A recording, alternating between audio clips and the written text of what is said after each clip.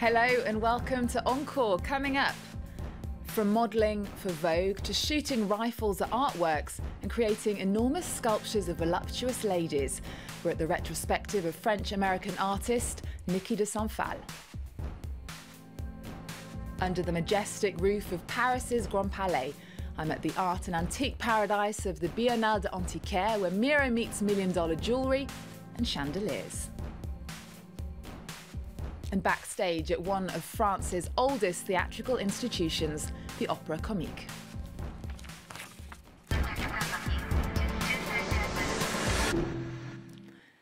She was launched onto the international art scene in the early 60s when she shot a rifle at a canvas concealing bags of paint. It became a metaphor for the French American artist's feminist rage and trailblazing imagination, which inspired four decades of work.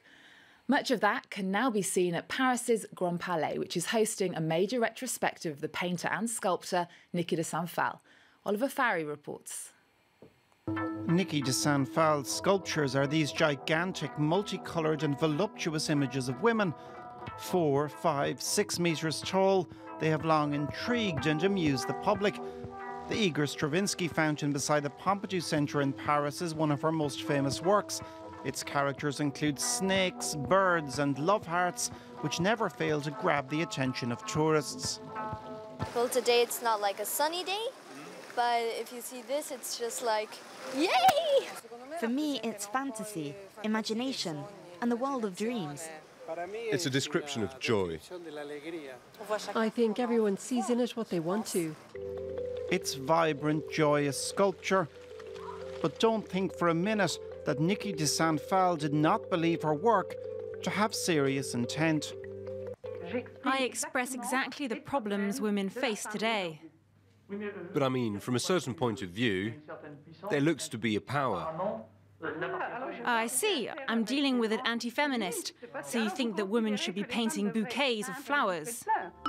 Saint Phalle's work was concerned rather with female forms that towered over men, fully rounded women such as these mothers called the nanas, a symbol of feminist struggle. The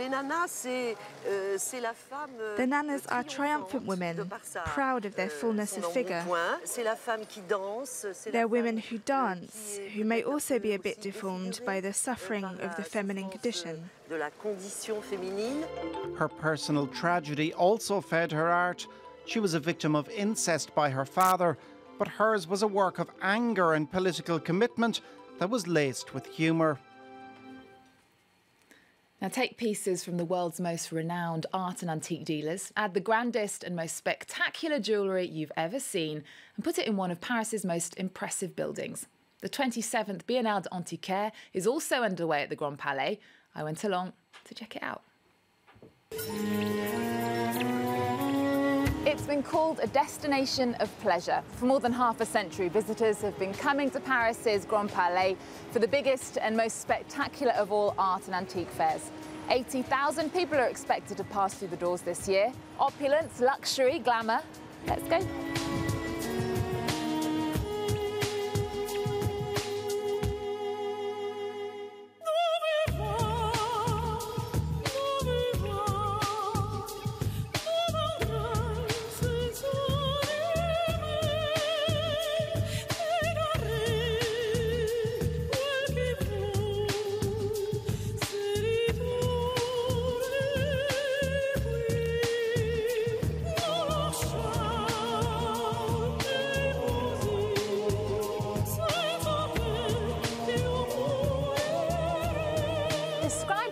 Who don't know what is the Biennale de d'Antiquaire.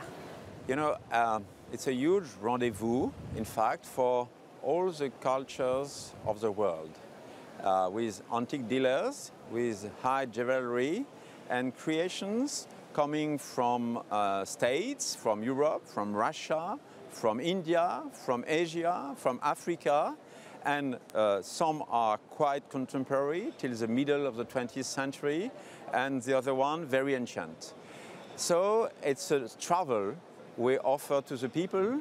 Uh, everything is possible to buy it here. It's not a museum. It's not cheap though, is it? No. it's of course masterpiece, and most of them uh, were not uh, presented before. It's the first time they are offering uh, to the public.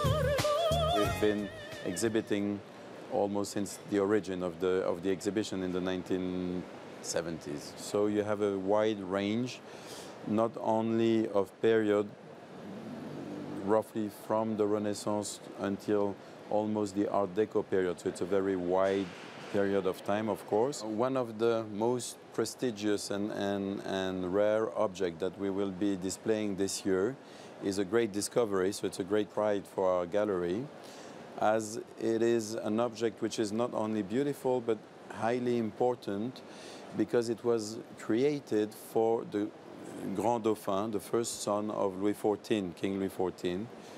And of course, those kind of objects are extremely rare that came straight from, from the royal family.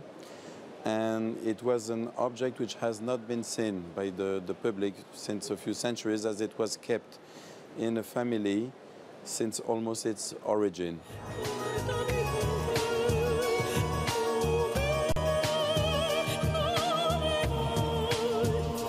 From the old to the new, this is a paradise for collectioners and visitors alike.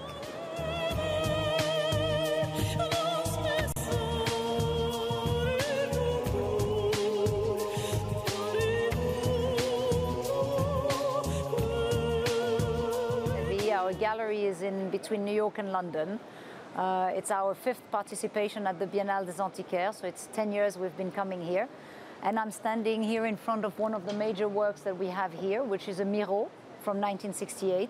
Extraordinary work, very bright color, the energy of the late 60s in Paris from a man who at that time is not so young. And it's coupled with a wonderful sponge sculpture by Yves Klein. And our booth is very much about what happened in the post-war area in between America and Europe. And that's what our gallery specialized in.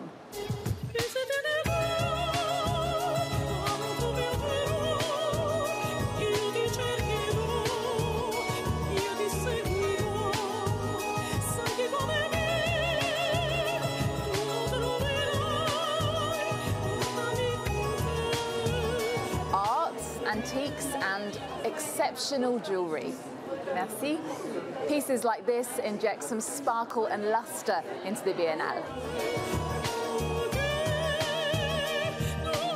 Walking around the Grand Palais during this event is a bit like walking through history, and it's a trip open to the public until the 21st of September.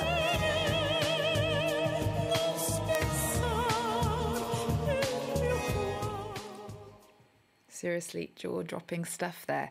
Now, if you've ever wondered what it's like inside the French president's house or wanted to climb the towers of Notre Dame, or perhaps you fancy a look at the Parisian sewers, this weekend many of France's most special buildings are open to the public. It's all part of European Heritage Days, which takes place every year on the third weekend of September. In our next report, we lift the curtain for you on one of France's oldest theatrical institutions, the Opera Comique. Here's your guided tour, courtesy of Bell Lupton. Place Boieldieu, in the heart of Paris.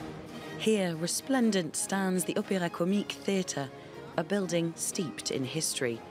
It was built in 1783 and rose from its ashes not once but twice after a couple of dramatic fires in the 19th century.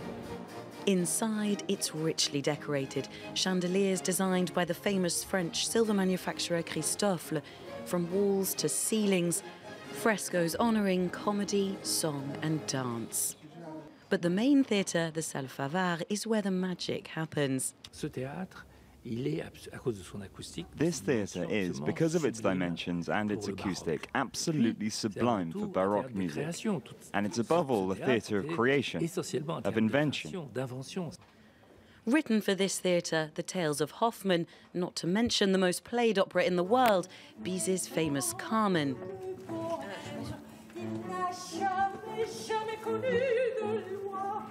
Foreign shows also form part of the repertoire without compromising the opéra comique's traditions as a genre, of course, because the works are sung in French.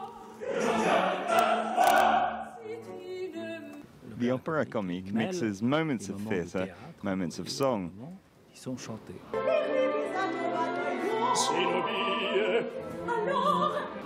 D'où la difficulté du genre. It's part of the difficulty of this typically French and sophisticated genre, which requires a specific skill to sing, très particulier à chanter, a specific knowledge of tradition, nécessite la connaissance d'une vraie tradition, d'une transmission. Tradition is essential here for a genre born three centuries ago. First performed at fairs where classical theatre conventions were parodied, the Opéra Comique soon won acclaim from higher social circles. Its founding spirit of parody may be fading, but this art form isn't about to become stuffy or elitist. Now, as back then, it's keen to lift its curtain to all. We've got the largest audience possible. That's been our aim with the theatre's team, to expand the audience. To break this source of intimidation which institutions can represent. At heart, to say to everyone that the theatre is theirs. Over time, it's become a precious thread in France's cultural fabric, a heritage to discover if you get the chance. And that brings us to the end of the show. We're going to leave you with photographs from fashion photographer Peter Lindbergh, who snapped some of the world's most beautiful women over the past 30 years. The Gagosian Gallery in Paris is hosting an exhibition of his work until November. Remember our website, Twitter, and Facebook. Thanks for joining us. There's more news coming up on France 24 after this.